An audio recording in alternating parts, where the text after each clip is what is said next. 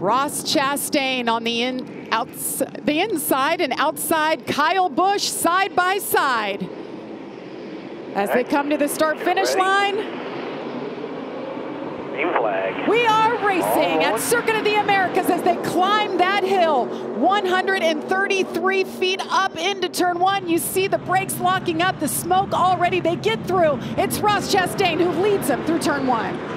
I don't even know, I don't even know how you call that, Mike, but it's it's five six wide, and you know I think from a driver's standpoint, you just you don't want to tear the fenders off right here, but you know that you have to go and you have to try to at least protect your position, if not try to advance your position. So the guys in the back are trying to take advantage of. The guys in the middle are trying to protect themselves, and down through the S's, we've got one sideways. I just can't believe we all made it.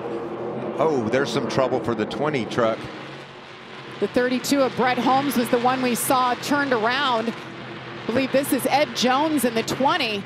Yeah, that looks like could have been an engine failure. Might cause a caution here early in the going. That truck was pretty decent last year. Sheldon Creed ran it, was on pole. And Ed Jones, he's somebody who comes from a road racing background, an Indy Lights champion, ran in the IndyCar series. That's something you're going to see all day there, Kevin. Just forcing your way in. Kaz Grala dove to the inside of Grant Enfinger and made it made it inside of him. Hasn't completed the pass, but that was a strong move. Yeah, and, and so many of these corners are enticing to turn in early. It's one of my biggest problems that I have here.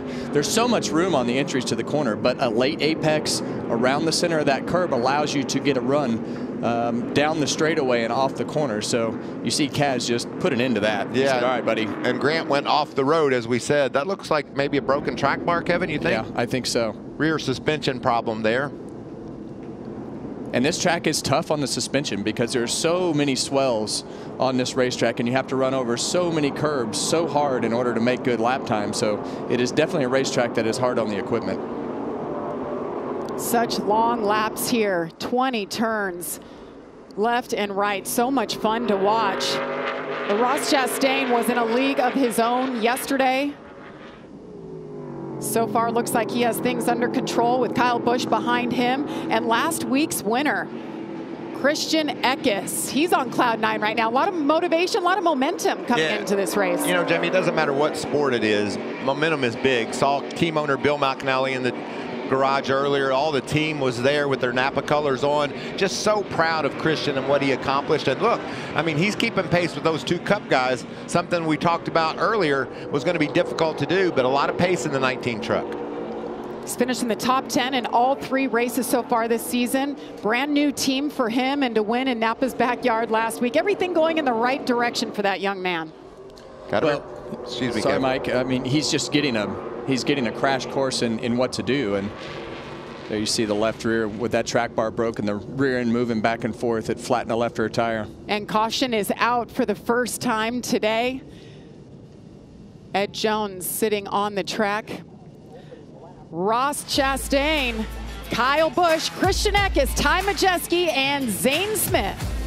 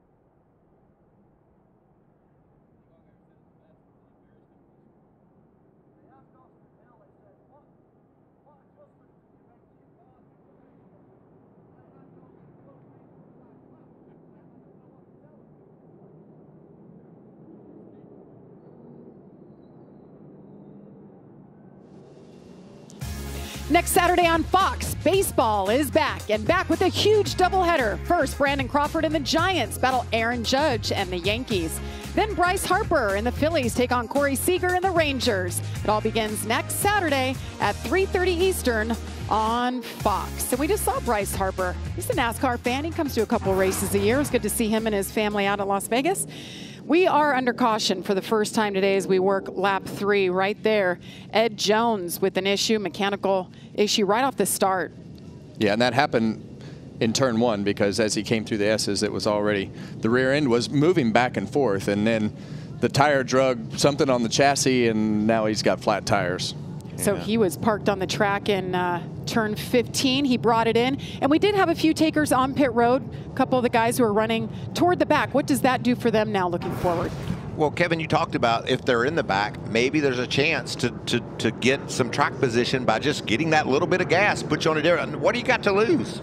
Yeah, you have nothing to lose, and, and the thing that I like about that is it also gives you less time with that fuel man plugged into into the into the gas tank. And here we see the choose rule, and this to me, you know, I think it's just pick the side that you lose the least amount of positions. And, and if you have a choice, I would probably pick the inside because it gets really rough outside of that curve in turn one. And sometimes you're three, four, maybe five wide. And if you get too wide right there, there's a gravel trap. So you can lose a lot of time right there. Yeah, and if you take the bottom, you're the one pushing people out of the way instead of somebody shoving you out of the way. That's it's right. Gonna, it's going to come to that. It will come to that for sure. Push will come to shove.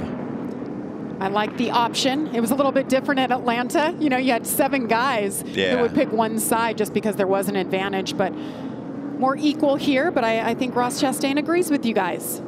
Well, I, I just like that you put it into the driver's decision, right? You know, it's not just I have to go here and I have to go there. It gives you an option. And, and from a driver's standpoint, anytime you can have more options, I feel like that's more fair. Yeah. And it gives you something to think about. And, and I think the more that the driver has to think about, the better off, um, the better the race will be to watch. And that's, I want to clear up also, that's the thing with not having a stage in.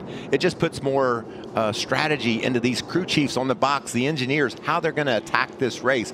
They're going to get stage points, but there's not going to be a caution, and, and it just adds another page to the playbook. Certainly new for NASCAR. We'll do that in all three series. There will not be that green and white checker at the end of the stage finish. But as What- Michael mentioned, they'll still get those points. What's new is old. That's right. Yeah. Before we go back to about 2015, Yeah, we, we're going we're going back to how it used to be in 2015. So, but look, you know that's that's the one thing that's great about the NASCAR mentality in, in today's world. Hey, we need to mix it up a little bit. All right, let's fix it. Yeah, or try something new, like Yeah. the choose cone here for the first time on road courses. So once again, Ross Chastain. He's got Kyle Busch to the outside. Christian Eckes, one to watch in the 19. oh, they're stacking up. They're stacking Jacking up. up in the back. Green flag waves. They go wide. Matt Crafton was one of them. As they climb up that hill. Look at that, five, six wide. Christian sides. Eckes. Nice restart. Three wide out of turn one. Wow. He was aggressive. Still there? battle at the front, side by side. Christian Eckes putting the pressure on Ross Chastain, and he does it. He takes the lead. Ross is sizing him up through the S's. You got to remain two tires at least on the red and white, making sure you don't get penalized. Once you leave the S's, you can kick up some dust, as we saw there. Kevin, I'm surprised we made it two restarts through turn or two starts through turn one, and nobody's really worse for the wear. It's a lot of action, and Ross Chastain coming back to the inside. Side by side, Ross wants to take that lead back just by a nose over Christian Eckes. And Zane gets around Kyle Busch. And I think he's going to bring Carson Hocevar along with him. See Hocevar there on the right side of the screen. Look Not- at these two. They can't shake each other. Not quite able to get the spot. Well, and what a great job by Christian Eckes just to put himself in position to get the lead. And it's like we talked before the before the caution came out, and, and you see him go wide right there to keep from running into the back of Ross. But this is just trial by fire, and, and he's seeing what they are doing and knowing that, that he can keep up and knowing that he can be on the offense and make moves. And now uh, Ross has, has got by Christian, but he's still just getting a crash course in what needs to what needs to happen. Ben Rhodes sizing up. Still there. Clear. Clear Tanner. Gray. Clear by one. Clear by- I think it's really fun to listen to the throttle too, Kevin, just squeezing it. He wants to gun it, but you just got to be really use finesse on that gas pedal.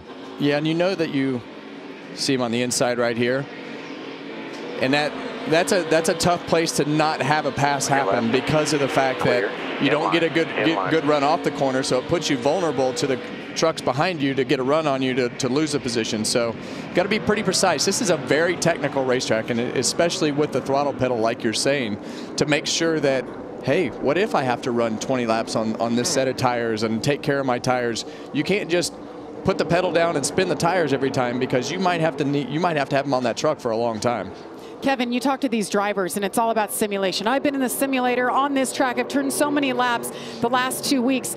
You've done that too. So now that you get in the car, how similar, how close is the simulation to what these guys are feeling in real, real life? Well, I love it for reference points, but there's there's nothing like having to use that throttle pedal and having to actually um, use the brake pedal as hard as you think you need to do it, use it and not lock up the tires and know that you might lock up the tires and know that you might drive into the gravel trap or might um, drive off the racetrack because you you have real life consequences. So in the simulator, there's no consequences, but it gives you great visuals, and, and that's the most important thing to me is is to have everything memorized. Look at this battle. Matt Crafton started out back. He's been able to get up toward the front. Lawless Alan was able to get into that battle along with Logan Bearden in the 22. Matt Matt was trying to get around Bearden and uh, open the door up for Alan. But he's done a nice job of fighting through the field. That 38 truck, bad fast. He's our race winner from last year. It's the exact same truck he drove to victory lane. In fact, the 38 team has won both of the races here. Ooh, contact with Kyle Busch right there as they go side by side. This is the battle for third. I think that could be a little bit of Christian Eckes holding up Zane, and Kyle got in there and said, I'm taking that spot away. Anytime you see a gap ahead of you, like uh, starting to develop with Christian, you start. You better start watching that mirror, huh? Well, the thing that I always hear you say about truck races, Mike, is there's very little give, and there there there has been very little give in in um, you know Christian Eckes and trying to defend his position and, and do what he can do to try to keep his track position. But I believe Zane is faster than Christian. He just can't find the spot to pass. Ty Majeski's holding down the sixth spot behind Carson Hocevar, so got a nice some nice battles inside the top 10. I'm impressed with that 98 of Ty Majeski. Didn't have much road course experience at all, and he's just put the hammer down, focused on getting better. Great qualifying effort yesterday. Now here, running in the sixth spot. There's our pole sitter from Sonoma last year, Carson Hocevar. Carson Hocevar doing double duty today, making his Xfinity Series debut. Got a call last week that team needed a fill-in driver, and uh, here he is. So he's done a lot of simulation work, to your point, Kevin. But getting that extra seat time has really helped him out here. Well, I think with, with Carson, he had the he had the best tool in the garage last night with the pole sitter and Ross Chastain, and Carson has done a great job on the road courses, as as you've said, and, and I think you know having having Ross in that truck and being able to judge, and now you see Zane trying to make a move on on Eckes on the inside here going into turn 11. We had a shot there of Rajah Caruth in the 24 truck. We talked about you can't cut the S's. He was caught cutting the S's. He'll have to do a pass-through penalty. So that's something I think to keep in mind all day long. It is so tempting, isn't it? Just to just any inch you could get nearer the, the apex of the corner, you want it. And uh, Rajah overdid it. As the battle for this position continues, I think Zane's got him this time. Great battle to watch right here, and Kyle Busch just watching these two duke it out. Okay, I don't think he does, does get him this time. Still there. Clear behind them. Kyle Busch trying to take a look to the inside. Christian Eckes, really nice job. I mean, the guys behind him, he knows how good they are on these road courses. Nice exit there for Zane. Well, that was almost an instant replay of the lap before. Yeah. I think it's so wild you can hear the tires squealing when they go through these corners. That tells you the load that these drivers are feeling in these trucks.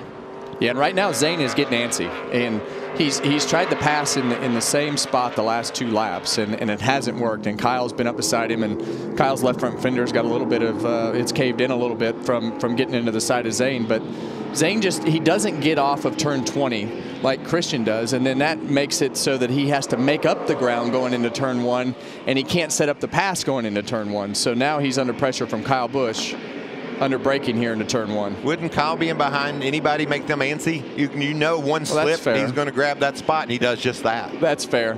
Maybe maybe uh, Zane said, you go past him. I can't get it done. You give it a try.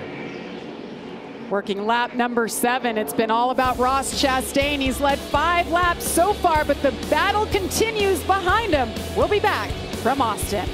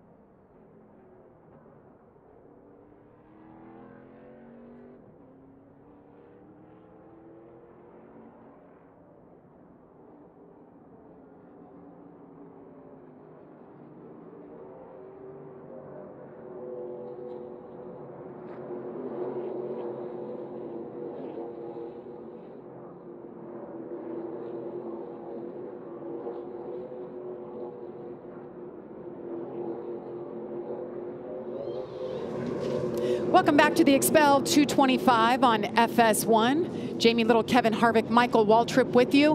And Ross Chastain continues to lead. He has been the standout, but this battle, wow, and Carson Hocevar goes around. The 0-2 is around of Chris Wright. Oh, he's going to get stuck. He shouldn't have done that. You got to stay on the pavement. That gravel will eat you up. There's a s- perfect picture of what I'm talking about. Yeah, and I tell you what, Mike, the truck that was just on pit road, I don't know what truck that was, but that's going to be the leader of this. He's going to have a, a, a good opportunity to be the leader of this race if everybody decides to pit. But we're getting close to the end of the stage. That was a turn 11 where that took place at the end of the long back straightaway. Caution is out now for the second time. You just, Oh, you, just man. you got to stay on the pavement and back up. You, you get in the gravel and you're you're stuck, and that's what the Wild World Worldwide Express truck is. Carson Yeah. Hocevar was in the top five, running fifth when that just happened. Yeah, and I bet what happened right there is he got in and the back of the truck started wheel hopping and, and, the, and, the, and the truck went around. So, um, yeah, that's a, that's a tough break, and he's definitely waiting for the, waiting for the tow truck. Let's listen to the 42 radio. I'm power steering fluid ready just in case. Copy. That's what I'm fighting in the slow section. 10 4, 10 4. Brake pedal to the floor. Brake pedal to the floor, he says. Wow, he's got all kinds of problems. Power steering fluid, brake pedal to the floor, Gravel in his tires. stuck in the gravel. It's a bad sequence right there. So meanwhile, pit road, all the pit crews getting ready, getting warmed up. You guys said the uh, the window opened at about lap six, so here we are, lap eight. And this is a perfect scenario for us to have fun. Oh my some goodness. guys are going to say, I got to win the stage. Some guys are going to say, I want some track position. Lap eight will allow the trucks to get all the way to the finish on another tank of gas. Let's see if we can see what happens here to Carson. Well, you see the 0-2 Chris Wright get spun around there. That's Ta- Taylor Gray that gets him, and Chase Purdy goes by in the Bama Buggies truck. And then this is what happened to Carson. You could tell just no brakes there. Yeah, he's Kevin. just he's he's just struggling with the brake pedal. When it goes to the floor, you just have um, so much that He tried to keep He it going. I didn't know he didn't have any brakes. You Makes know, sense he- now, right? He, he couldn't stop, or he would have tried to keep it rolling, but uh, it didn't happen. Ah, the worst spot. Good thing about this place is it takes so long to get around under caution. They they get him pulled out here. They'll get him back to pit road, and you heard it. He's going to need some help. Fix the damage. See if he can continue on. Pit stops on the other side of this break. Stay with us. You're watching the Craftsman Truck Series.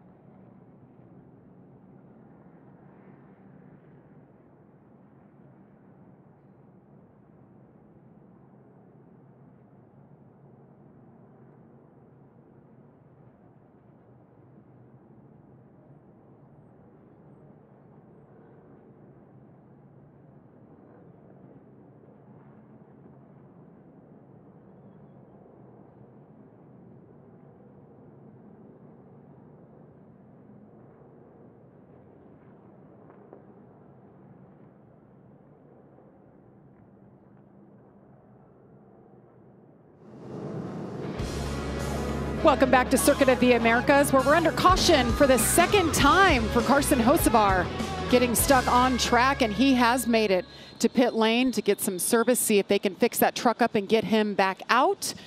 So this means one thing. Once the pits are officially open, which they are, maybe we'll get some takers. What do you guys think? Well, let's make sure they open pit road. I think we're going to do so. And if so, we get just what we were hoping for, Kevin. A mixed bag. That's right. We're going to see 41 and 51 pit for sure, I believe. And then others will stay out and try to win the stage. Get that valuable playoff point, get some stage points. Zane Smith was on the fence. And this is a narrow pit road, so this is a very difficult pit road to get to from a driver's standpoint if there are multiple trucks. We see the guys that you were talking about pitting. Jamie? For Kyle Busch. He stopped in his box as well. His crew chief for this year, Brian Patty, is very successful on road courses. He said if we can stop early, we're not going for championship points, so we can get to the end of the race on just one more stop. We're taking all the chances. Kyle was very honest. He said he felt like that win last year was taken away from him. He wants redemption today. Also, Ross Chastain is a perfectly clean pit stop for him. Four tires, fuel, just a couple adjustments. Heather? And for Zane Smith, his crew chief Chris Lawson told me earlier that if they would get a caution in the first stage, they will take the option to pit. But he is saying right now with that race truck, that first gear drive is terrible and he's loose on the right handers and it carries him all the way through the exit. So they made some adjustments there for the 38. All right, so it was a little bit of a mixed bag. So you have We haven't front messed runners. anything up yet, Jamie. Christian Eckes stays out. We'll see what happens after this.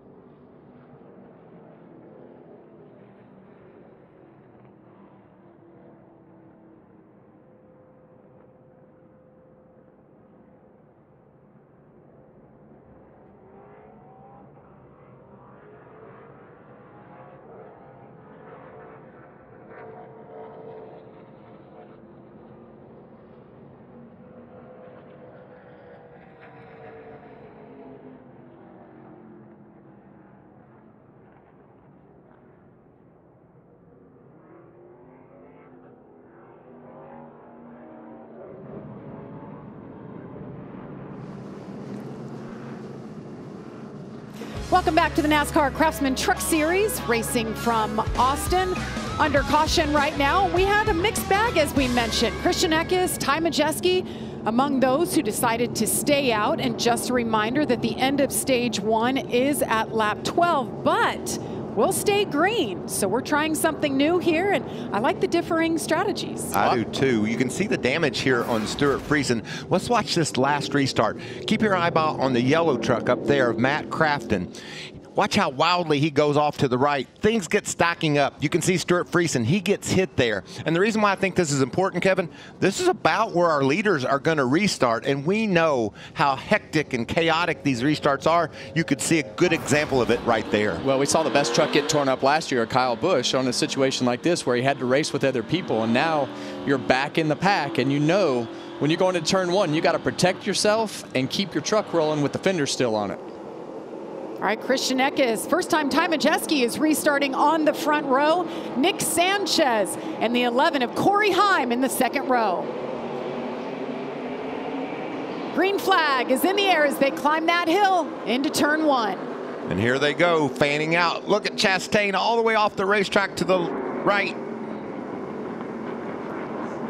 Christian Eckes with a flawless restart once again leads them Good call, Jamie. That's how he got the lead. He just had a perfect restart. A little contact back there.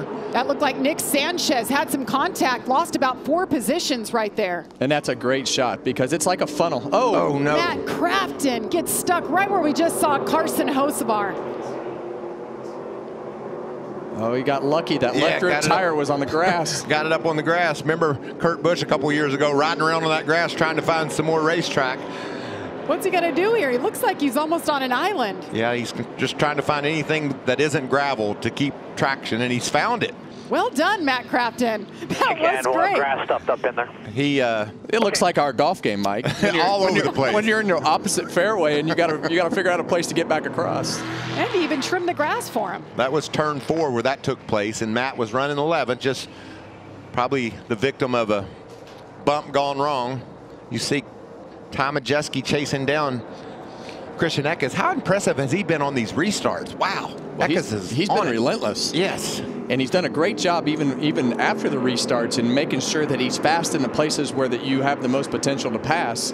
And he gets off the corner really well. So Christian has been very aggressive in protecting his position and, and now ultimately it puts him in a position to win the stage.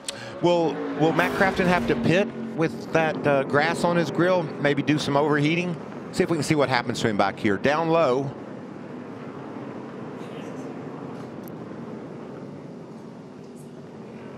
Yeah, you see Nick Chan- Nick Sanchez there get hit and go a little bit wide. And then everything kind of stacks up. Ah, and this is when where it probably goes bad for Crafton. Oh, man. Was that Hailie Deegan Yeah. at 13? Yeah, Hailie Deegan just hit him in the left rear. That's his teammate. But he did a great job of getting out of that mess. I'm just worried about overheating and that smoke I'm seeing.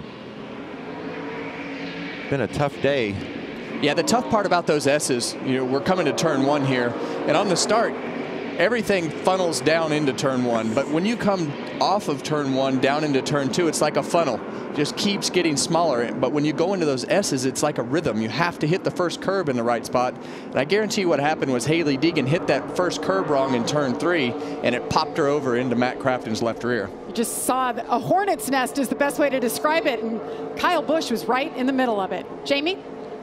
For Matt Crafton, he is making the decision to go ahead and bring it into pit lane. He knew that he had some grass stuck in that grill and he didn't want it to overheat. So they're taking the opportunity to go ahead and execute a full service pit stop. They're going to give him fresh tires and top off with fuel. Also, remember, he didn't qualify either. He had some tire rub issues during practice. They were not able to get those fixed on pit lane. So he missed that track time as well. So it's been kind of a messy weekend for Matt Crafton. He had come up through the field, but this certainly sends him further back than he would like.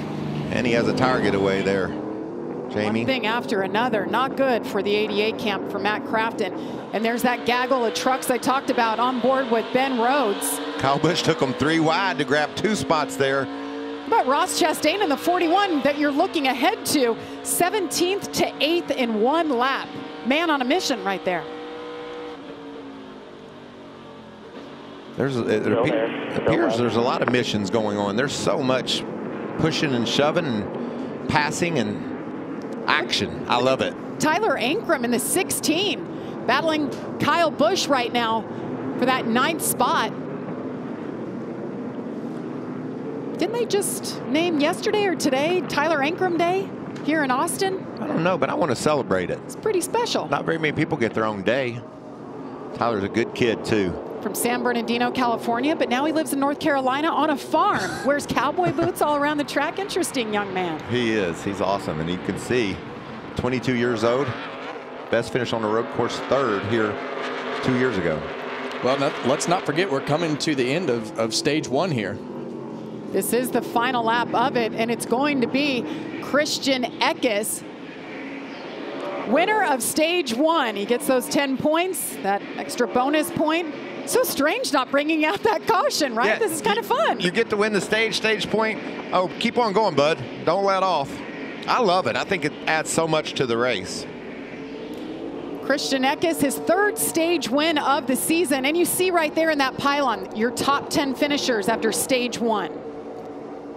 Yeah, and what's going to happen here is it's it's going to cycle to Kyle Busch and Ross Chastain as as these guys start to get onto their strategy when they pit. So the the next race for the lead is between Kyle Busch and Ross Chastain. And the interesting part about that story is Kyle Busch has gotten around Ross Chastain. Yeah, he forced him three wide and took that spot away. We saw, but I think. Um, lap 13 as they come back to the green, or excuse me, come back to pit road. There's going to be a lot of takers on pit road. Those guys coming in and getting their service.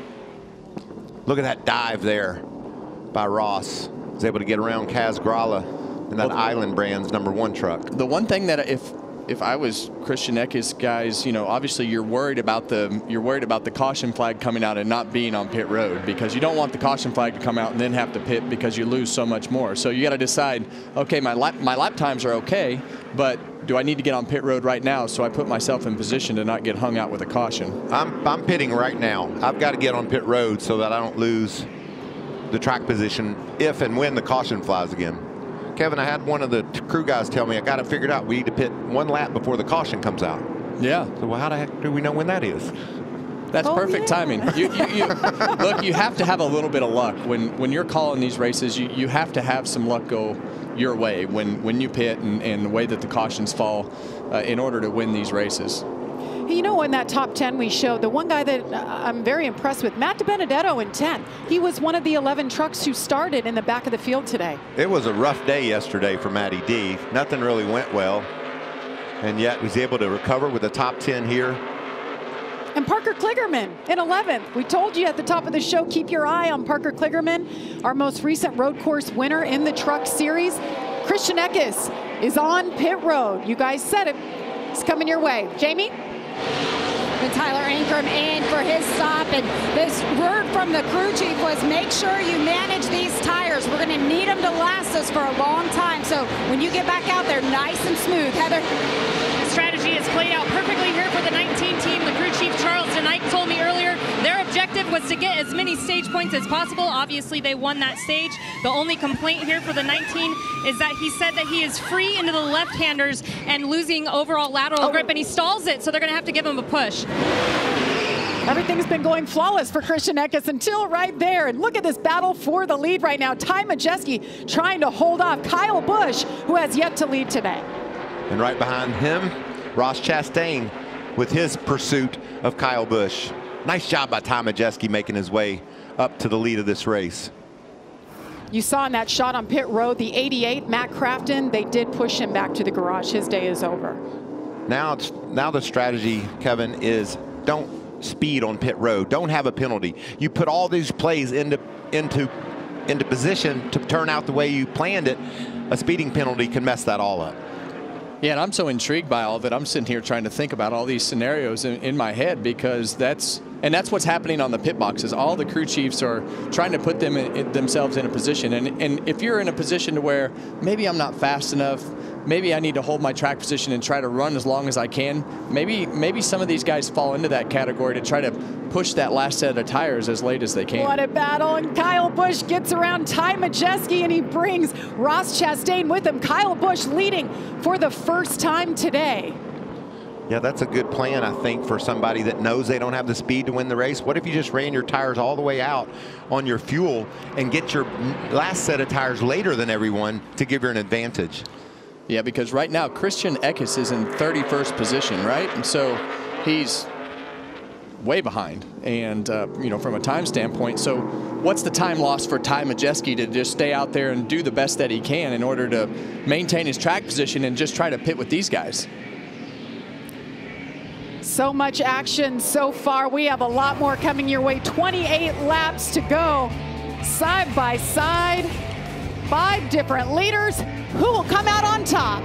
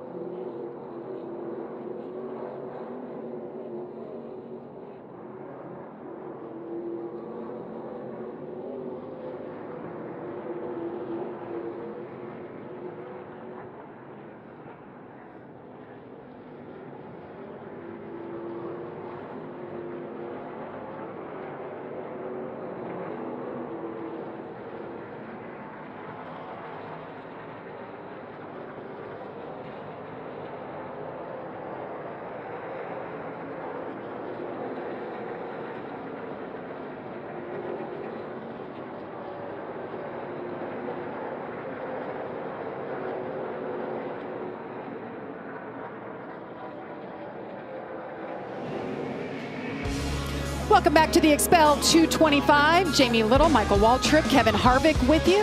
Heather DeBeaux and Jamie Howe on pit road. What a beautiful day. And how about the perfect That- place to watch this race? That looks scary, didn't it? yeah, if you're afraid of heights, that is not for Don't you. go there. you Here's climbed all the steps, didn't you, Michael? I did twice once. 410 of them. Yeah. Twice once because I lost count and I was supposed to be counting steps. Kyle Busch continues to lead here. Ross Chastain, Zane Smith, Ty Majeski. Remember, he is yet to pit.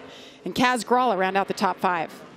Mike and I were just having an interesting debate on the 98 strategy in Ty Majeski. And it's interesting, Michael, if you run this whole stage out and then you run it again because it just has that green flag feel right now. His pace is not bad, but he's he's going to be in a better position, I believe, when it all cycles through. Because if he does, if the caution does come out and he is stuck behind Christian Eckes, which he will be because of his his lap time, he's going to have way fresher tires. So there's there's a few ways that this can all play out. You talked about Parker Kligerman in the 75 truck.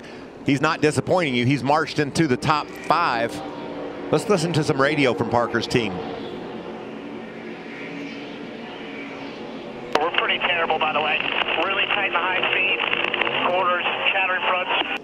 Yeah, we, we do have some damage on the nose right in the center Doesn't that sound just like a race car driver? Drove into the top five. We're pretty terrible, you know. Yeah, and, and, and I can see exactly why it's tight. When he tells him that it's damage, it's it's a lot of damage. It's got some some gap uh, at the top of the nose with the hood, and the whole nose is completely caved in. So it's definitely not going to drive well. Have you ever been told to shut up and drive? I have. I have too. And Yeah. that, that- you know, that's a moment where maybe that would have been appropriate, but uh, Parker's just trying to tell the team the best, what the truck's doing. Tires are chattering, and then they can go to work on a plan of how to fix it. I like the response, though. We have a little damage. Yeah. We're going to be all right. Yeah. From where they're standing, they're doing a great job. That is the little team that could.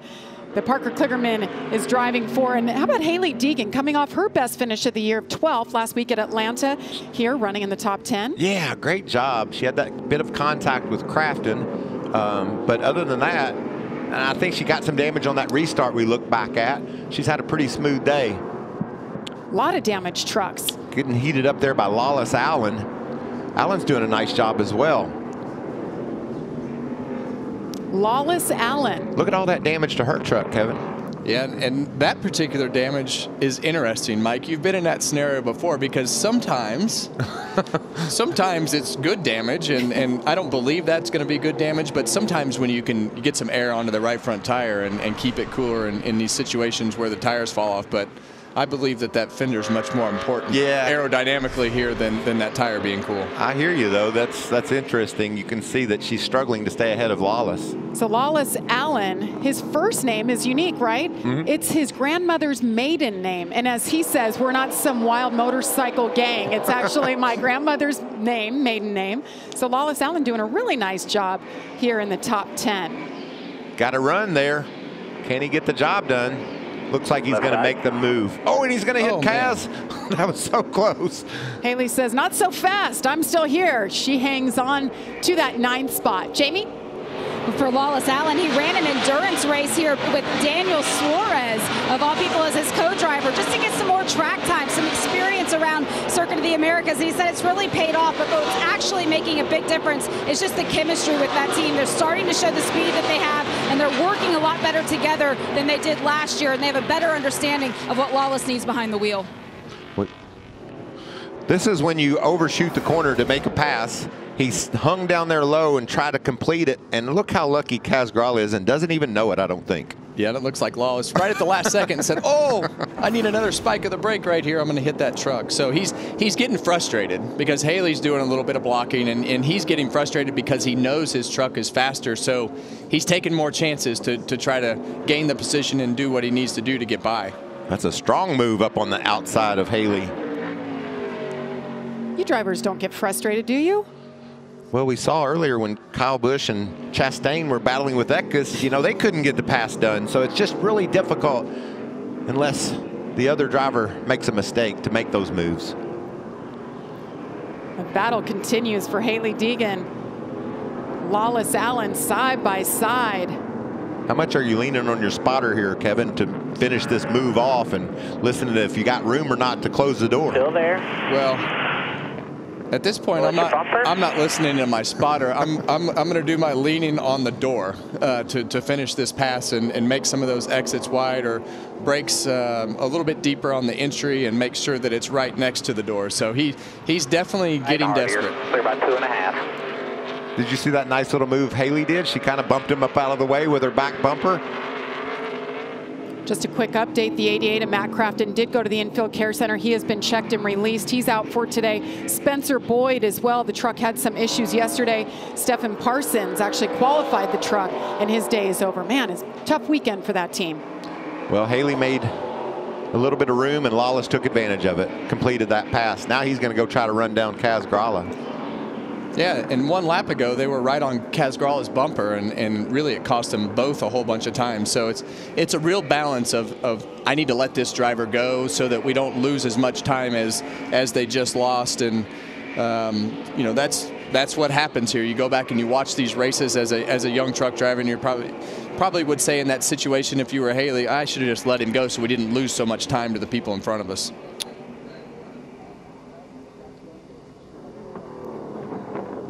And this is what we hope for, right? We, we hope that these guys would be about the same speed, Kyle Busch and, and Ross Chastain, if they were going to be the ones at the front of the field, because we thought they'd be, be quick, but I love the fact that they're close and they're going to have to race each other all the way to the end here. Nice battle for fifth. Parker Kligerman. You got Ben Rhodes side by side. Kligerman, such a wheelman on these road course races. He's got double duty coming up. That's a lot of driving in one day. As you mentioned, Kevin, too, it is the first hot weekend we've had.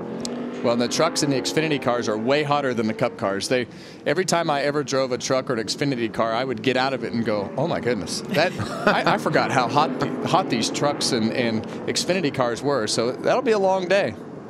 I talked about Nick Sanchez in the opening, solid top 10 for him so far, tracking there just behind the veteran and road course winner Ben Rhodes and road course winner Parker Kligerman. So Nick's getting some lessons here.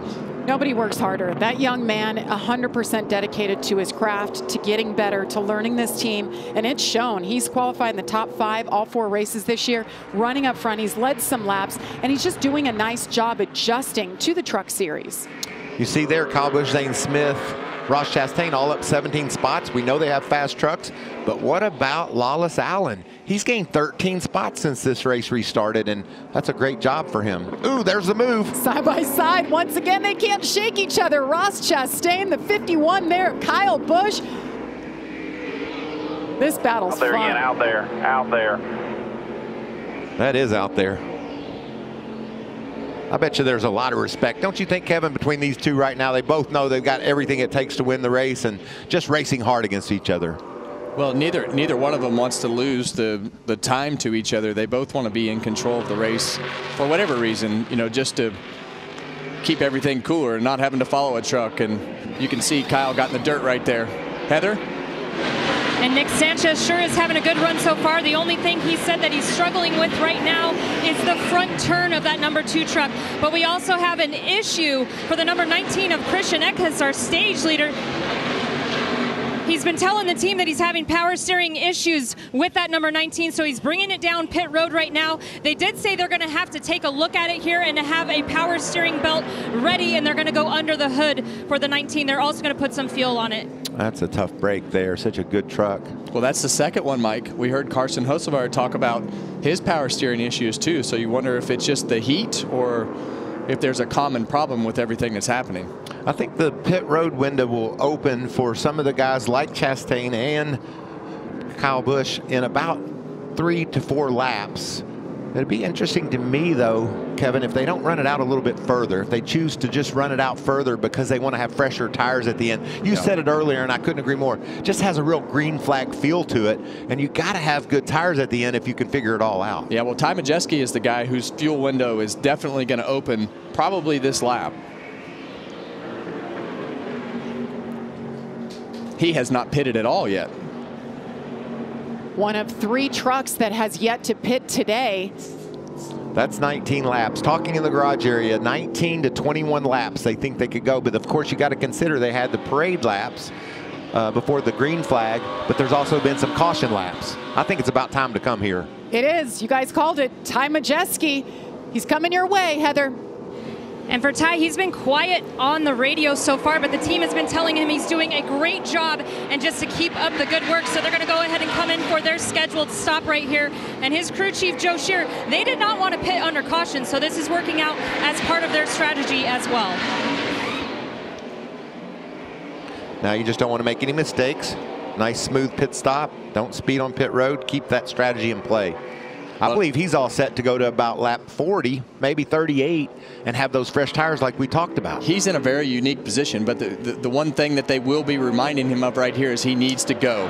He's got to lay down you know as fast a lap as possible to try to gain the time if the if the leaders that he was racing around the trucks that he was racing around he needs to make sure that he puts in as many lap fast laps as possible but he's come out in a very unique position right in the middle of the pack which kind of takes some of that away because you can't you can't lay those laps down like you need to. Well, it was interesting, and I think it was Ty Majeski's team that told me yesterday the max they can do on fuel is 22 laps. He just pitted there. We've got about 21 laps left in this race, so they could be on it, maybe a little short. What do you think, Michael? Maybe just a little short, but you know when you start stretching your changing your gears a little bit lower RPM, you could save some of that fuel.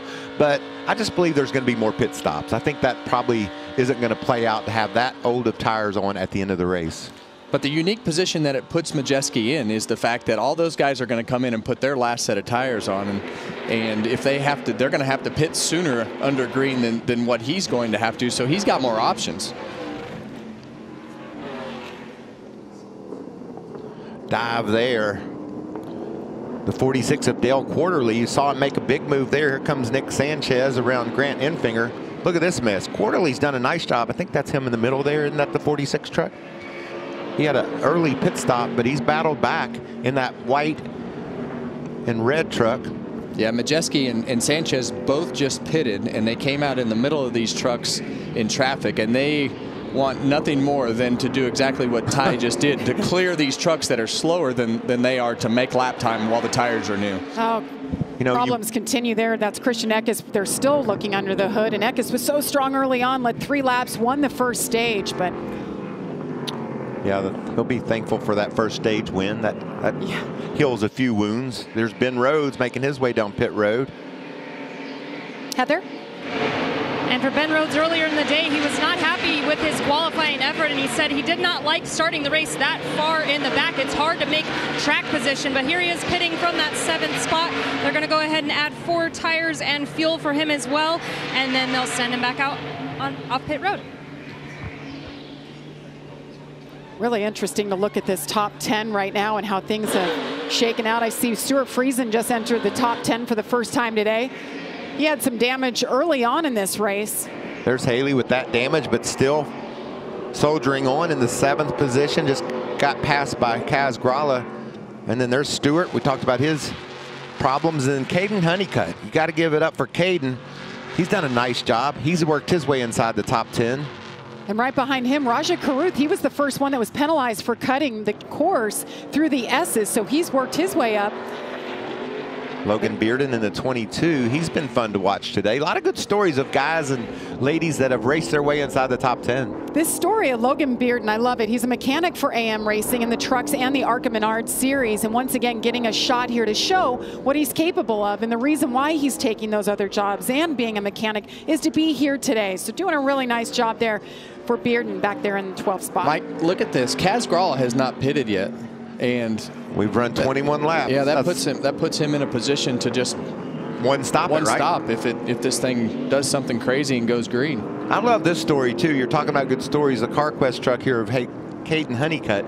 He's a Texas driver, a teenager, and his team is really high on him. He's got so much ability, sort of under the radar at times, but does a really nice job. And here in his home state, running inside the top 10, and he's already pitted uh, on a pretty normal strategy. This is a great day for this team.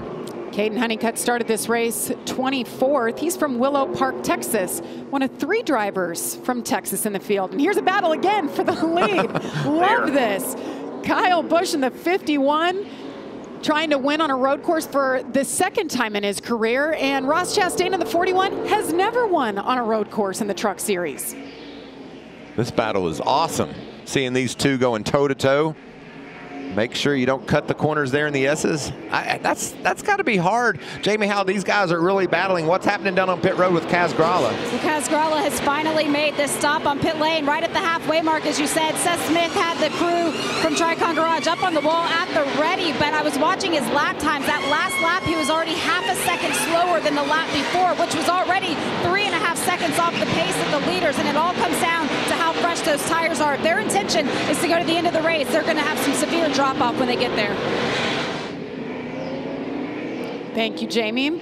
Well, we talked about at the beginning of the show, Jamie Little, that the strategies strategies would be all over the board, and, and I think that we uh, called that pretty well because we've seen a lot of that. Check out how Kyle gets the lead. Well, it appears that, that these trucks have kind of swapped. It, it seems like Ross's truck is starting to fall off, and Kyle just got a heck of a run off the last corner and drove by him. Yeah, I looked at the lap times two laps ago. Uh, Ross was a half a second faster, but then the last time by, Kyle was a second faster than Ross. So something's going on there. It's Ross. Ross is fading. Wonder what's going on. It's about time for a pit stop. I think about lap 24 is what uh, the team told me they thought they might pit. Yeah, and he, he, he could possibly be in a position of, of saving fuel in order to try to get himself to a particular spot. Um, we're hearing that he has a, a, fuel pressure issue, so that would explain the sudden drop off down the straightaway when Kyle just drove by him. Certainly. There he goes. Is that Daniel Dye battling? Daniel Dye in the 43. One of the trucks that started in the back of the field today. First road course race for him. 41's coming your way, Jamie. And Ross Chastain clean in. He hit the marks. The team was ready for him. I was listening to him right now, and he said, uh, we're not trying not to spend a whole lot of time here, so make this work quick. They went ahead, topped him off. I don't see like there's any worry um, in, in any issue that he may potentially have. They're just making sure he's cool. So Ross Chastain's service is finished. The question now, when does Kyle Busch pit? I think it's going to be pretty soon, but we won't miss it no matter when it is. We won't miss it. We're going side by side. Keep it right here from COTA.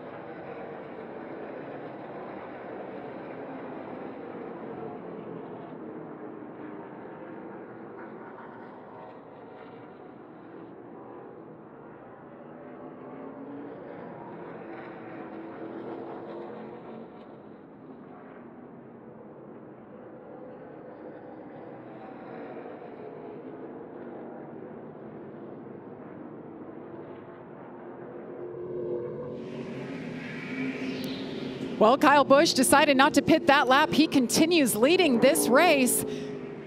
We welcome you. 18 laps to go here at Circuit of the Americas. Kyle Busch, it's been a good day. He's already led nine laps today. Jamie? His crew chief, Brian Pattie, had called him to pit lane on that last lap. There was a little bit of a discussion over the radio on whether or not it was the best time. He's turning consistent lap times right now, so they told him you have six laps maximum. That's the most you can stay out there on fuel right now. So eyes are open. The crew's ready for him. It's going to come down to Kyle when he fixes time. That's the man making the call. Brian Pattie on the pit box right there. Yeah, and he's 2.6 seconds slower than his fast lap. So there, there's definitely some fall off late in the run.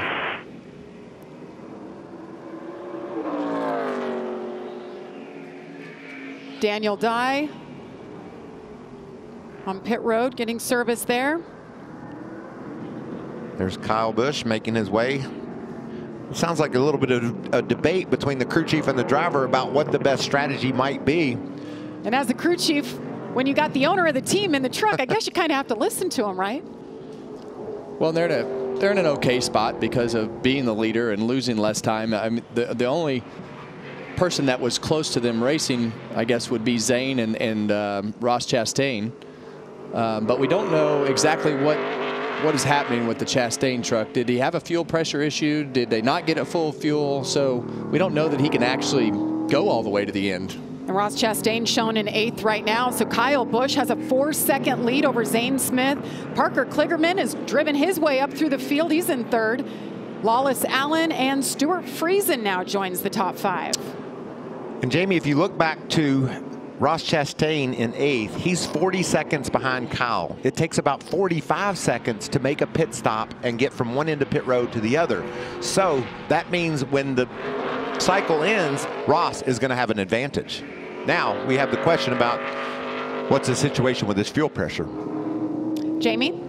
Well, I just checked with Mike Hillman Jr., the crew chief, and he said they did have a slight fuel pressure issue before they came to pit lane. I mentioned during that pit stop they were making sure it was full. They went back, grabbed the second can of gas of it. Mike said they are confident that they got it all the way topped off.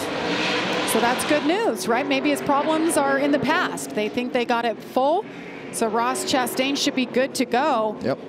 As we continue to wait for the 51 when they decide to pit.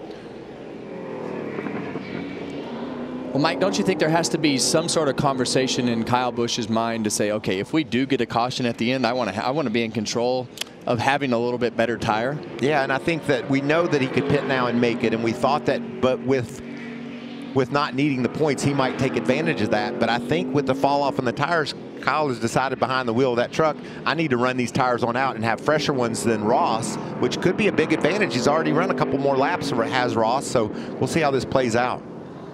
Well, Kyle ran a 217.9 the last lap, um, the lap before, and the last lap was a 218.5. So he's definitely, the times are definitely falling off.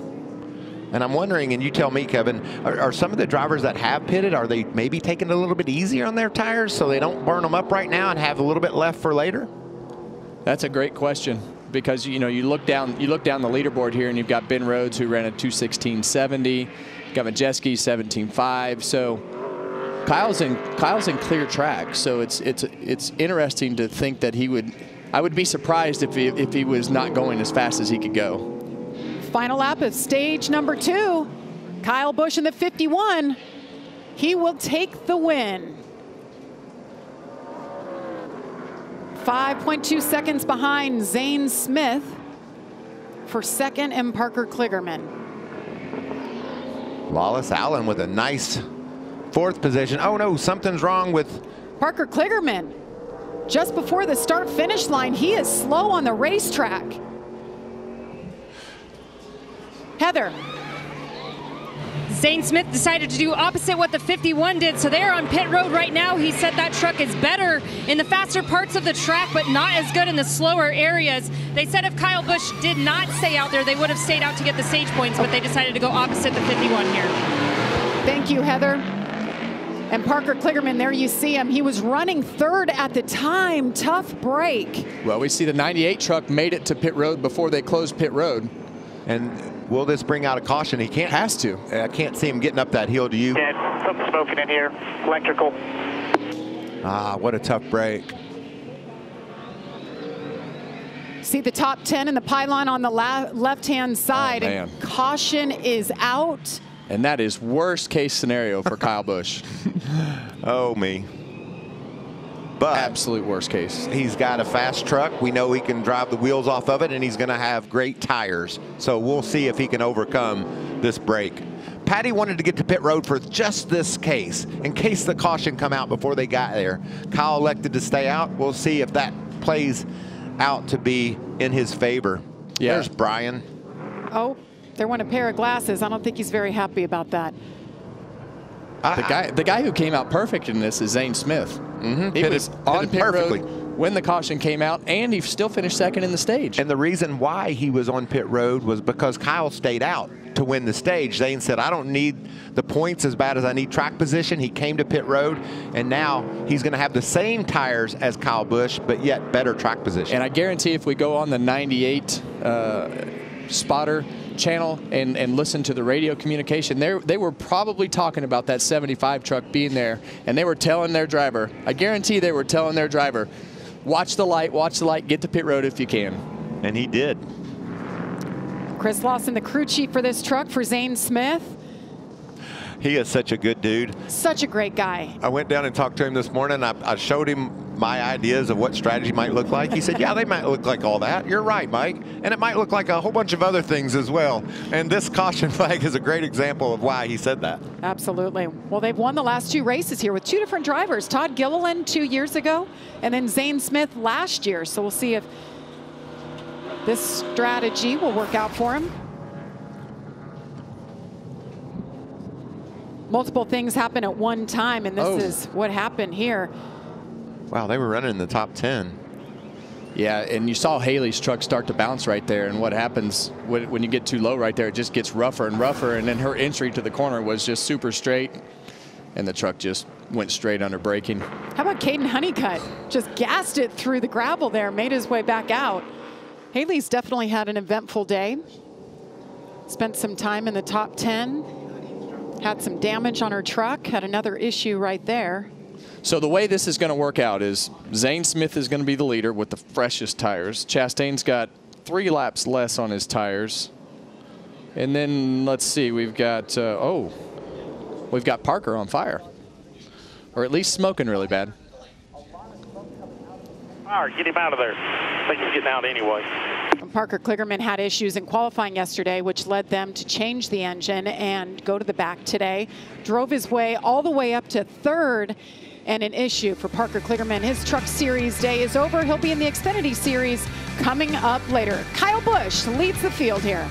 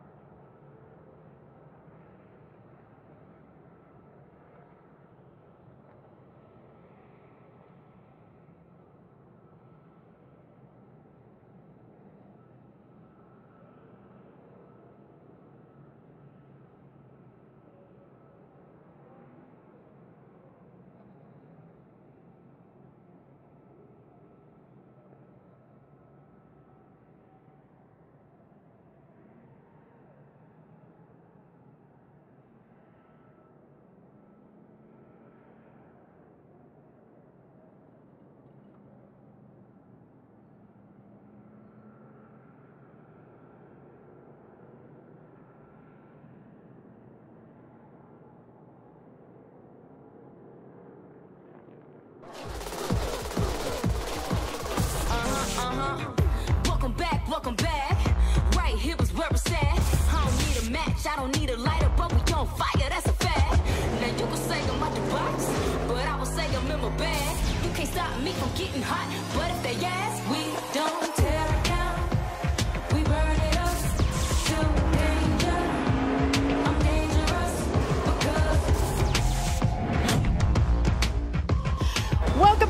Circuit of the Americas. Well, two out of the three of us are in here dancing. You done Come got on, that Kevin. right. I'm thinking. I'm, I'm so geeked out about all of this pitch strategy, I can't hardly take it because I think we have to give credit to Chris Lawson, Zane Smith's crew chief, for making the call that he did. He came down pit road. He's got new tires. He's going to be the leader. He pitted and he finished second in the stage.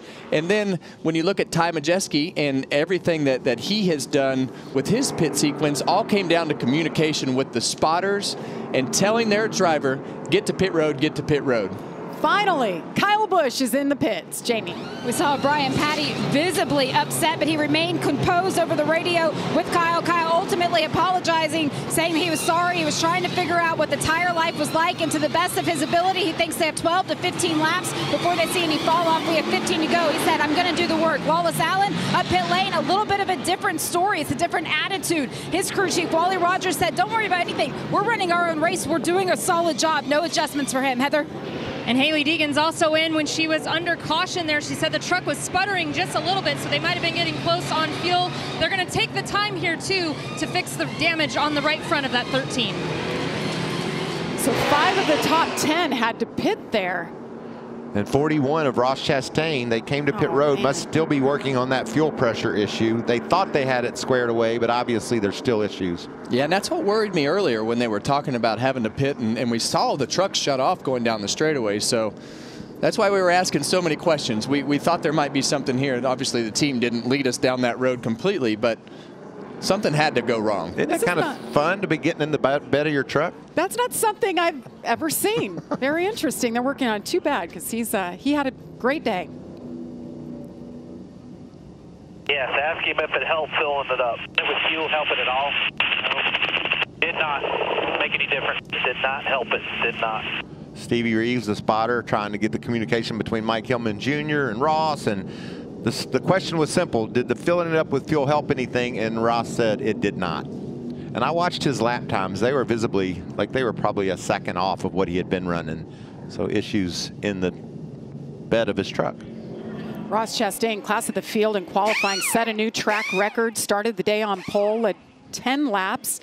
Had a heck of a battle going with Kyle Busch, but things have gone sideways for this team.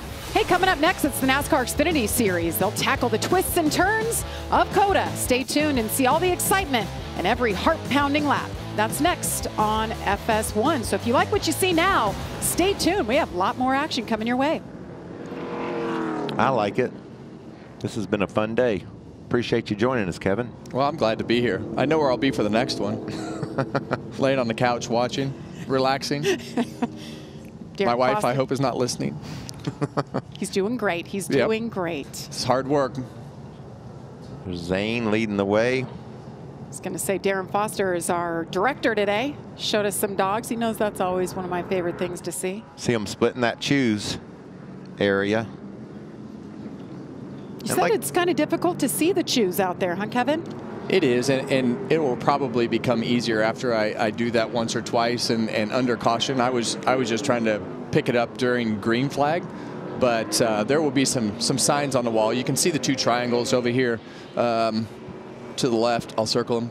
This is to help the the drivers uh, recognize where that that uh, line is on the racetrack. They put some some signs up on the wall to help for blind guys like me.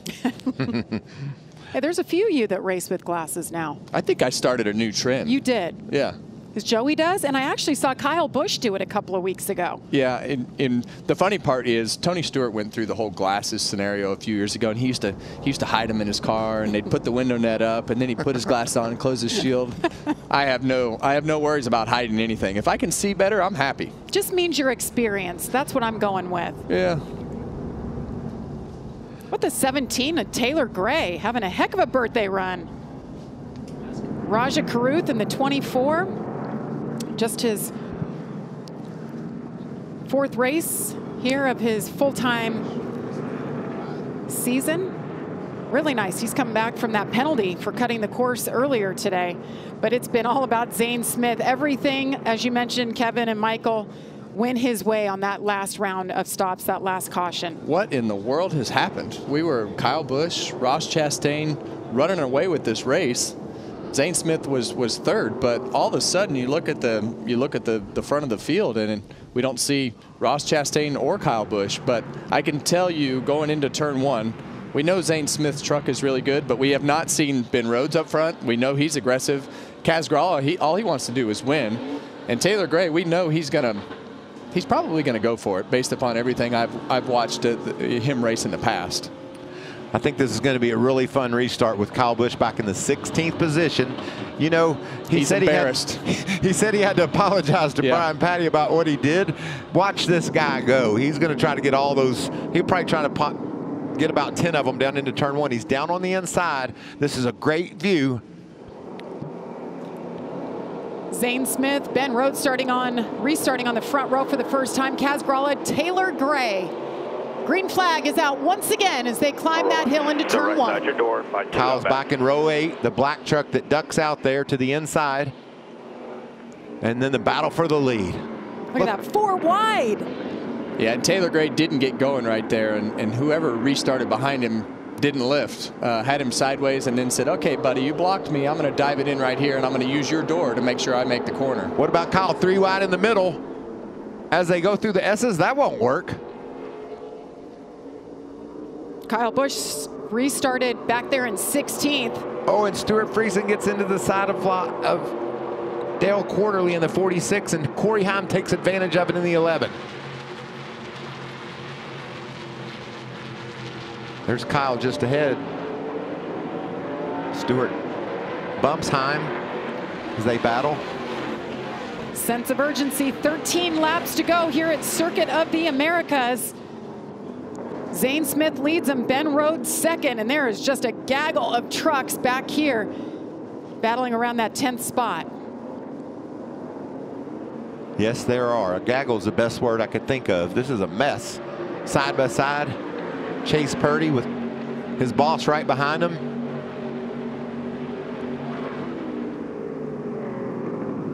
Kyle Busch up a handful of positions since that restart. He gets on the inside of Purdy, grabs a couple more spots. Well, and for us, we're, we're lucky that, that we get to watch this because when you when you get someone like Kyle Busch who, who knows that they were on the, the wrong side of making a decision on the on the opposite end of the of the crew chief's decision and wants to make it up, it becomes ex exciting passes just like we saw two at a time, and he's going to continue to do that. 22 around. Logan Bearden had a great day going.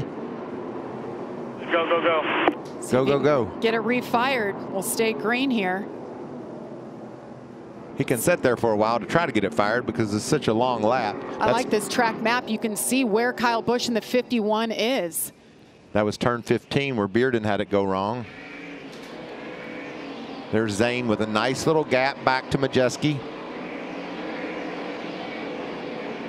That time back, Kevin Zane was two tenths faster than Majeski. Probably really comfortable out in the lead right now.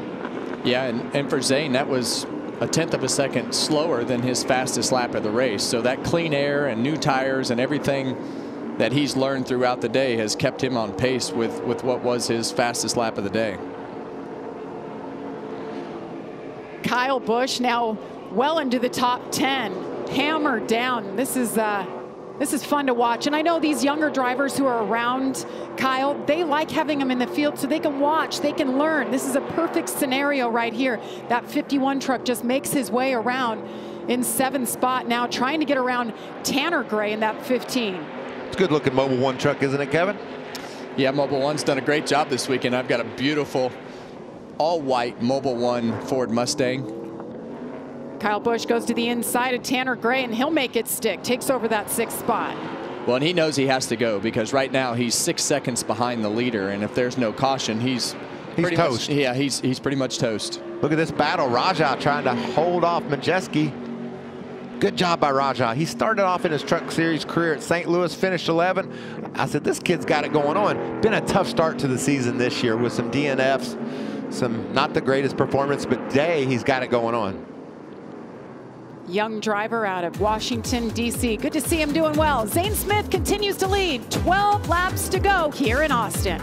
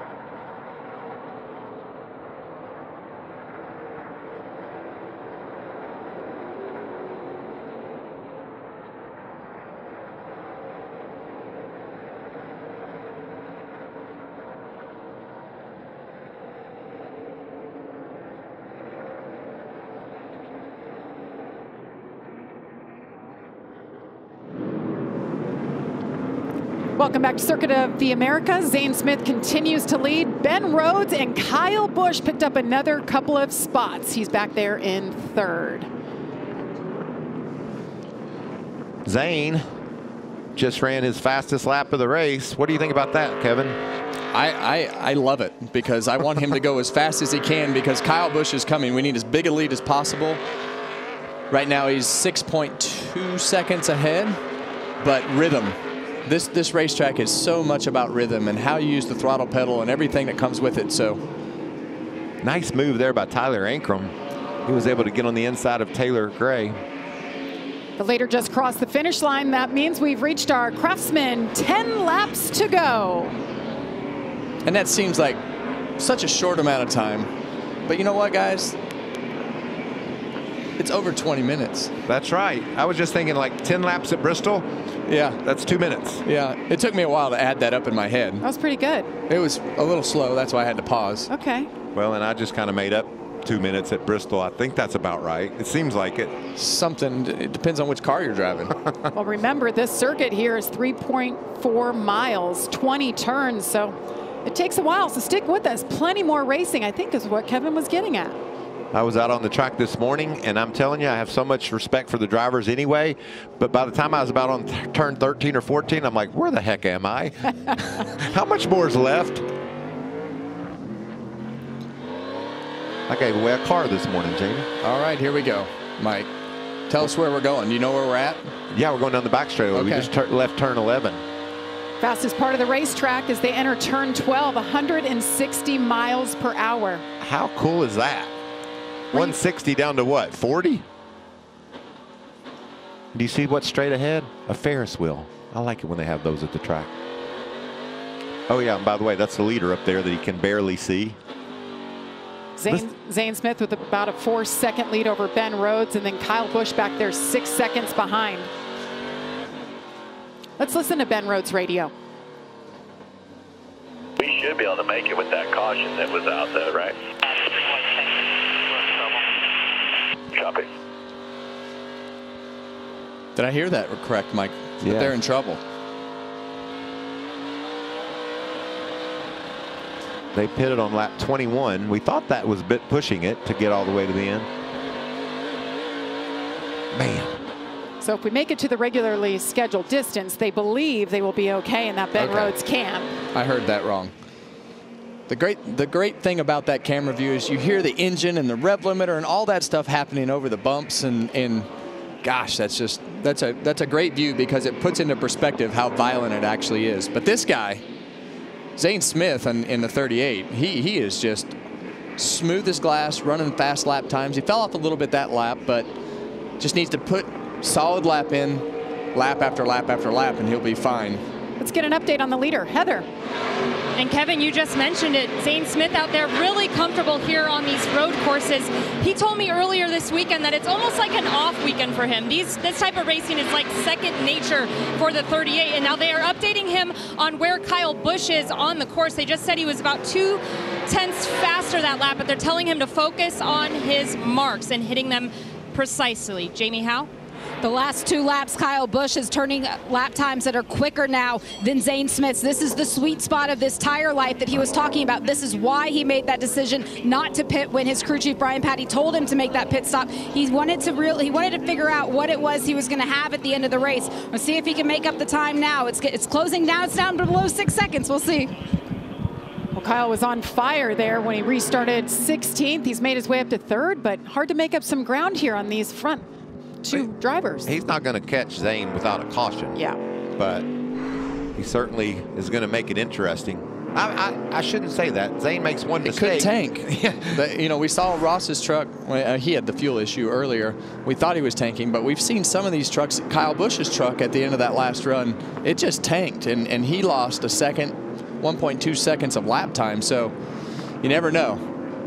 Yeah, I shouldn't say he's not going to catch him because Kyle Busch does special things, and one slip by Zane Smith, and you know he's right there. You know, we get asked this a lot. If you look at those windshields, some have the black background of Craftsman, some have the red. The red means they're full-time in the series. If it's black, like on Ross Chastain's truck, that means they're part-time. So that just for the viewer to distinguish who's running for points and who's just here to have fun and win. Well, I learned something. Thank you for explaining that. Welcome. There's that beautiful flyover we heard just a little bit ago, right, Michael? Yeah, I love the flyover. I've never seen it happen on lap 30, but it was still fun. Practicing for tomorrow, I believe. There's Ross. He's rallied up to the 11th position after his issues on pit road. The guy's in the bed of the truck, just ahead there of Nick Sanchez, Stewart Friesen. Got some good stories inside the top 10. Kaz has surfaced into the fifth position and his truck, just outside the top 10. There's Ross. Tyler Ankrum in the 16 found his way back to the top 10. Rajah Caruth, Tanner Gray, Corey Heim in ninth, and Taylor Gray. Yes, they are brothers. That rounds out the top 10. But Kevin, this leader, Zane Well- Smith, you know, he last year, people didn't realize his background was in karting on road courses. So when he came here, he wanted to show people what he's capable of, and he did. He went to victory lane. But you're familiar with this kind of background. Yeah, Zane and I had a conversation a, a few months ago, really into last year, and I had no idea. But he, he's on the same. Keelan is on the same path that that uh, Zane went on, and that is kart racing in Europe, and you know, doing it at a level of in, on the international level. That is a that is a firm commitment. So he has a huge background in, in road racing and has a great upbringing in karts. And his crew chief is great at the strategy call as well. So it's all working for Zane Smith. I love that he got second in the stage, pitted, got his track position, got his tires. Everything worked perfectly. That's always the question. Can you have it all? Yes, he well, did. and that's what we talked about earlier, right? You have to have a little bit of luck and have to have the cautions and things fall your way to win these races. So the only thing that can make it go the wrong way right now is another caution flag. So this is the battle heating up here for second. Ben Rhodes has a mirror full of Kyle Busch. He got to Rhodes in a hurry, Jamie, but he just hasn't been able to do anything with him yet. Ben's doing a really nice job wearing our driver's eye cam and has that thing right up there in the second spot.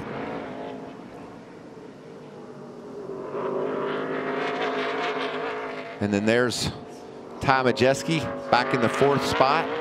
Just steady and consistent, not really a road racer, but just there all day long. Solid day. They made a great, great adjustment to their strategy, and, and here he here he sits running fourth, and that would be a that'd be a great day. And sometimes that's just what you want to achieve on the road courses. Let's put ourselves in position to have a solid day, get a little bit off strategy, do something different, but then just don't make any mistakes when we when we have things fall our way and, and we put ourselves in the top five. And that's exactly what Ty Majeski and his team have done.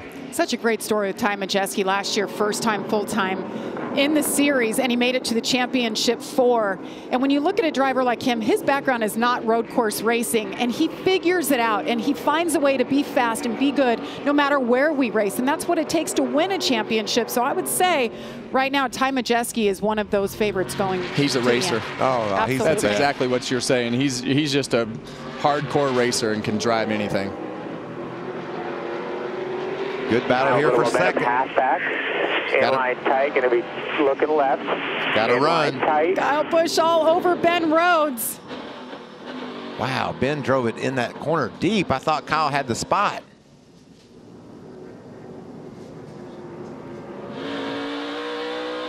See on that map exactly where the leader is, the 38, and then where Kyle Busch is in the 51. Yeah, and in in theory, Kyle Busch, you know, he's got what it says seven laps, but he's probably got five. In, in theory, he should have a pretty easy time getting by. There he is, But side Ben's by side. tough. Anya, hit you. Looked like a little contact there, but Kyle sure. Busch gets him. Kyle moves into second. Ben Rhodes back to third. What about the spotter? On you, hitting you? Yep. He's past you. Contact. Eight tires are better than four. That's Clear. right. That's a good run, though, for Ben. He won See the- Daytona road course, so we know he can get it done on any type of track. Kid from Louisville, Kentucky. Yeah, and Kyle lost a little bit of time getting that position, but on the last lap, he was a half a second faster than Zane Smith. Heather? And I mentioned earlier today how Ben Rhodes was not happy with how he qualified and was frustrated with how he did in practice. But he did tell me one thing that he had on his side is he is very comfortable with this racetrack. He knows where to hit his marks. He did, however, say there's a couple different sections that you could do and hit differently. So he doesn't feel like he's ever found that money lap type of run on any of his uh, races here at COTA. But today, it sure looks like he might have figured something out. Absolutely. And Zane Smith just crossed the start finish line. That means six laps to go. I'm in conservative mode if I'm Zane Smith. And if I'm Daniel Dye, I'm pretty proud of what I've accomplished today. He started in the back. He's raced his way inside the top 20. Same thing happened to him last week, Jamie. He had some issues under the hood. They got it fixed, and he drove to a top 20. So as a kid like Daniel making his first truck starts of the of his career, it's really cool to see him just persevere, push through it, and get some results. The 19-year-old out of DeLand, Florida, carrying that on board for us, doing a nice job. And this is it's a lot to learn when you go from the ARCA Menard series, move up to the truck series, and all these different styles of tracks, just trying to figure it out. So he told me he had never done simulation for a race before until this one. Wow. So he expected to run better. He said, I realize the mental game of racing, it's not about having fun and just getting in. You've got to work at your craft, and he's done it for this day. Well, I'm glad you, you said something about the mental game of racing because it is very mental. You, you think of a lot of other sports, and everybody talks about the mental games and the mental mindset. Racing is the exact same way. You have to be in the right mindset. I don't want to talk too much because we've got a good race happening here. yeah. What about the grays? Two shades of gray. the brothers battling Taylor Gray and Tanner Gray. This is fun. The two grew up racing together. Tanner, though, used to race in a straight line. He raced in the NHRA. Oh, and he's gonna get the side best by of- side. Sorry, sorry, little bro. That is awesome battle. Come on, Tanner. It's your brother's birthday. no thanks. What Tony say back in the day? I wrecked my grandmother to win this race. You wreck your brother to move forward, right? I've done that. I wrecked two of uh, our KHI cars one time to win at Montreal in an RCR car. My wife was not happy. Hard for them to be mad at won. the owner, but I did my job.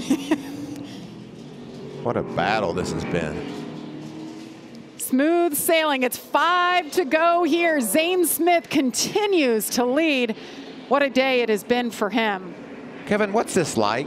Zane Smith, five to go. He's thinking to himself, no caution, no caution. He looks in the mirror and sees Kyle Busch. How much is he paying attention to Kyle, or is he just making lap time? I think he's just making lap time. But the one thing I did notice right there going up that hill is Kyle Busch going around that bump into the brake zone, he kind of moved to the left a little bit to go around the bump and, and not have uh, the bump affect the, the, the driving of his truck under braking. But Zane is just in a rhythm, and that's goes right into tune with what this racetrack is. Being in a rhythm, doing what you have to do. Last lap, he matched Kyle Busch's lap time within a thousandth of a second. That's all he needs to do, right? Just just put the truck in the right spot. Don't overdrive it. Don't spin the tires. Just do what you have to do, and you're going to win this race if the caution doesn't come out. Nice to see Ben Rhodes having such a good run. He's had a good couple of races in a row. He's got a new crew chief this year and Jared Prince. ThorSport, they mixed up the crew chiefs a little bit this year, and you never know if it's going to stick. Chemistry has a lot to do with things, but I think this is a great pairing. He had a good run here last year, but he's running one position better than he did in 22. I'll tell you something interesting, and I'm not going to call Zane Smith and tell him. In six of the last seven road races, the final green flag run was three laps. Oh, Mike. Oh, boy. He is not going to want to hear that. That's right. He's not. But if the caution flies, he's going to have to roll up them sleeves and go door to door with Kyle Busch. And I'll promise you, that's not a surprise to any of the crew chiefs sitting on the pit boxes because they all have the stats. We have the percentages of cautions, we have the percentages of green flag runs, yellow flag runs, when to pit, when not to pit. Whether four tires are better than two tires, whatever it is, they have the information on that pit box. So they're seeing it. Just don't tell Zane. There's so much going on in those pit boxes. I wish that when you're pit reporting, you could show it and talk about it, but that whole team chat thing that you guys always have, people are scanning other teams. They know exactly what they're saying and when they're going to pit. There's just so much information. I don't know how you you figure out what you need and what you don't in order to win the race. Chris Lawson, Brian Pattie, the two crew chiefs that are going to go head to head for this win, it looks like. And they're all thinking about the stats and wondering what their plan will be how they will go win this race if they do have to line up and do a restart. Zane Smith in the 38 kicked off the season with a win once again at Daytona. And he's like, we can't just put that in the bag and say, hey, we've got to win. Let's go out and learn some stuff. It's hammer down. We need to focus. This is a small team.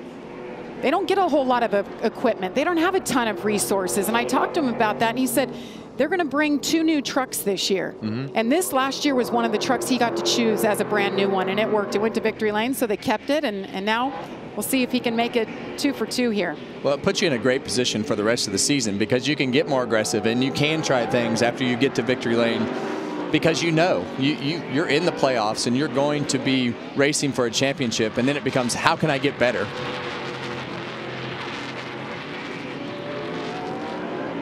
See Ross Chastain there right in the dirt in, in turn eight. You want those right side tires to be hooked on the on the left side of that sidewall of the tire. Pull you around the corner right up the hill if you do it right. You know, we talked about three guys that we thought we would be talking about all day at the beginning. It was Ross Chastain, it was Kyle Busch, it was Zane Smith. Ross had some issues uh, in his trunk with his fuel cell. And then Zane just made the perfect pit stop. They pitted right when they needed to, and Kyle was a lap late on that. So that's how these three, these three trucks that we felt like would be dominant have wound up where they are right now with a big advantage to Zane. I'm so impressed that Ross Chastain has bounced back after those issues. He was on pit road quite a while, and now here he is running up there in seventh. Well, kudos to the crew. Yeah, they figured changed, it out. Yeah, they, they, they fixed the, the fuel pressure issue in the trunk under caution. And then another shout out to Zane, to, excuse me, Ben Rhodes, because his tires are older, but yet he's hanging right in there with Kyle Busch. There's Ben. Wow, let's, that's violent. Let's listen to how violent it is and listen to how he works the gas. Well, this is coming off the last corner, turn 20, and you're going to see going into turn one up here. Right in, right when you want to push on the brake zone, you'll hear the truck jump. Oh, there it was. Coming into turn one. There'll be another big jump right here. There it is. Clean that back up right there. 137.96. Out back is a 47. Clean that up a little bit here. Nice and smooth. Don't overdrive it here, bud. Three laps to go here at Circuit of the Americas. Had five different leaders, nine lead changes, three cautions today for five laps think it's been the perfect amount. Where, where, are you at right now with your brain Kevin, bouncing around like this all day long. I mean, that's a, that's a lot to deal with. It's it's hot.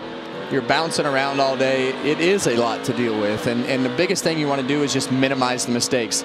How do I lose the least amount of time? I don't want to make a mistake to where I lose a second. I want to make a mistake to where I lose a tenth. So you have to have the visual markers. You have to have the rhythm and the flow with the throttle pedal and the brake and everything that, that happens from lap to lap. And you have to make the adjustment from the lap before you know, if you if you made a mistake coming up, we're coming up to turn 12 right there. If you made a mistake in 12, okay, let's make the adjustment this lap to get in a little less or let off the brake a little sooner, and that's constant throughout the race. Mm. Such a mental game, as you mentioned.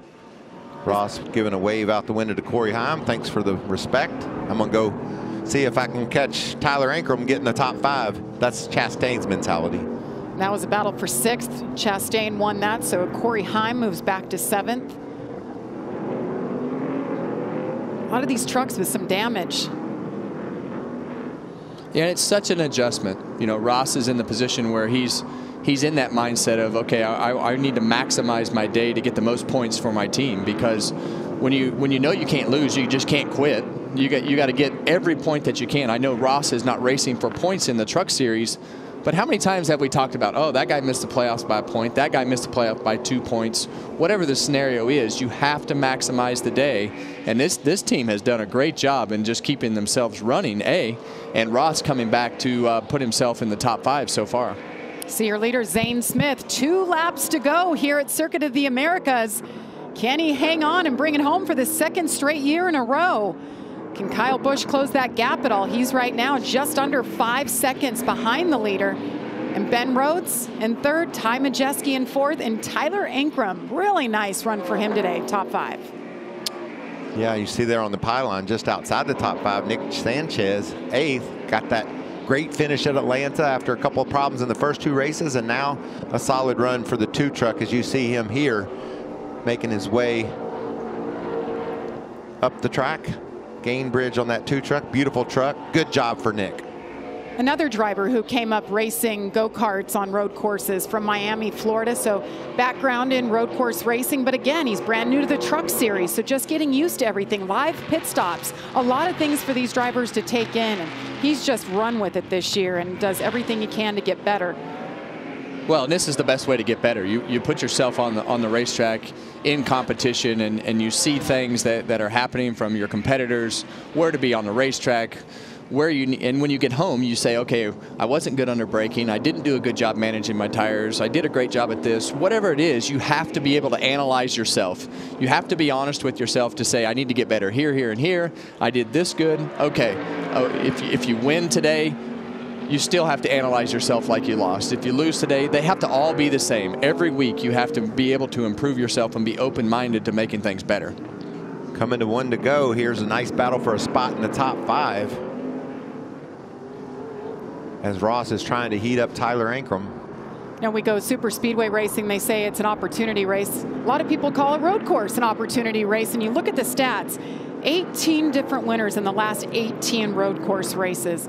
I don't know, Zane Smith, Kyle Busch both won last year, so I'm thinking maybe that streak comes to an end today.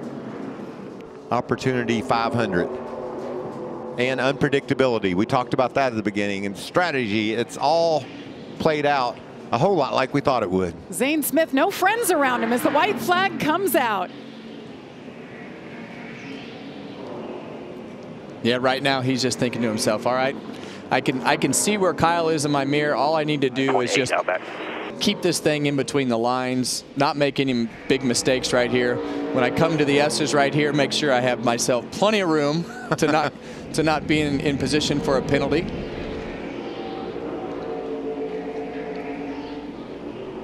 And it just all went their way.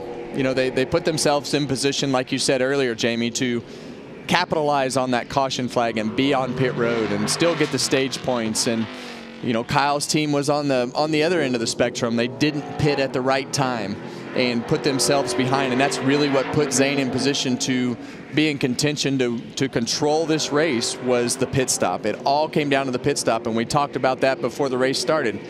A lot of what's going to happen today is going to happen on top of that pit box. But uh, some good news for Kyle Busch. He might have had his he might have gotten beaten anyway because the last time by about a half a second faster was Zane Smith, and he's got a five second lead. So that is a really fast 38 truck. Everything worked out, but uh, Kyle might have come up short anyway. We heard from Zane Smith at the start of the, of the show, and, and he said, you know, I, I feel like the truck was a little bit better in some areas last year. I don't know. He led 11 laps last year, and uh, he's already led 15 laps today. So I'd say in race, it's been a little bit better. A lot of Zane Smith time here today. Chris Lawson on the pit box making the perfect calls. And this kid has drove, driven a perfect race. 23-year-old out of Huntington Beach, California. There's Chris. Won the last two straight races here in Austin. Two different drivers looking to do it again. All good. That's what you want to hear on the last lap. Nice gap. He got a little roughed up. He's got some damage on that truck. He had to earn it. And here he comes, the last turn. The 38. All right, check flag. Zane Smith. End, He'll win it 30. at Good Circuit job, of the Americas. Back to back for Zane Smith. Kyle Busch brings it home second. Ben Rhodes on the front stretch. I believe he is out of fuel. Driveline just came out of Ben Rhodes' truck here on the front straightaway. They need to throw a caution flag. Everybody's having to avoid. He's dropped some debris on the racetrack as well. Ben Rhodes limping it up the hill as the 38 is Zane Smith burns it down. There's that debris right there before the start finish line. He was able to coast across for a 10th place finish.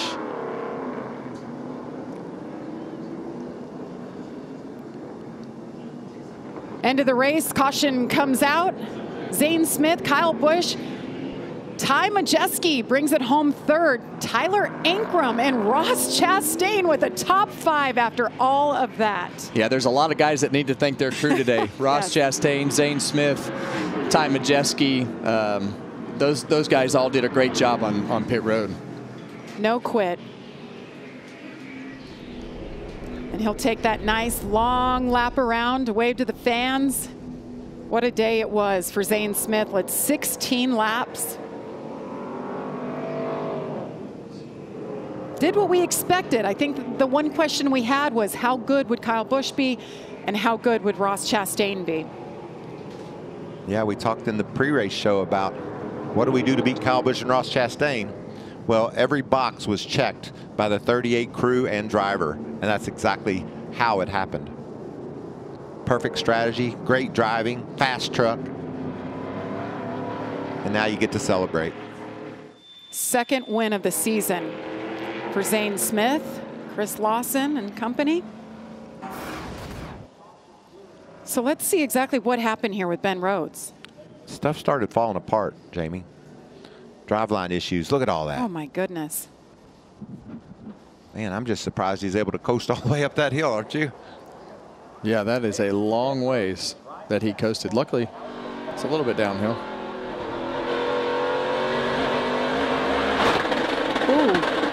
Uh, we've had that happen before, huh, Kevin? I'm it telling is. you what, that is one of the scariest yes. things that can ever happen. And you hope that it doesn't come through the sheet metal. Luckily, NASCAR has done a great job. You see the grooves, and there's two big iron loops that, that go around to protect that drive line from coming inside. Years ago, they used to just fly through the sheet metal, but luckily today, those big steel hoops are in there to, uh, to protect it from that. Could have been a much worse outcome for him, but it happened just coming into turn 20, and he brings it home for a top 10. Kyle Busch wondering what could have been if he had pitted a little bit earlier.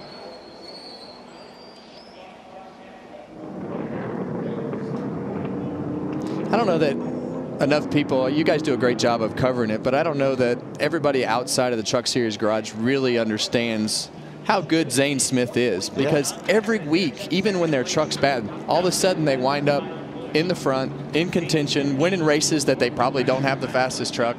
And that's when you really know you have things together. When you can win races that you don't have the fastest truck. He was in contention today, but they did a great job of putting themselves in position and didn't make any mistakes. But week after week, they do it. You know, and Zane Smith, he raced in the Daytona 500 with the same crew chief, Chris Lawson. He'll do a handful more. Other people are seeing what you're talking about in Zane Smith, seeing that talent, that potential. Well, just think about this. In 22, Zane was a truck champion. He got his first two wins of the year at Daytona and COTA. What has he done this year, Jamie? Well, he won at Daytona. He's won at COTA. It's like What- a carbon copy. What kind of message does that send to the competition? Oh, no. Uh-oh. Oh. We're going to light them up, aren't we? This is fun. Smoke them if you got them. Jake Blau getting all that action. He's always right in the mix. Cameraman, we've got the best on the job. All the cameras. How fun is that? It's fun for everybody but the team owner. Back it down. Zane Smith climbs from the truck. NASCAR waiting with that checkered flag.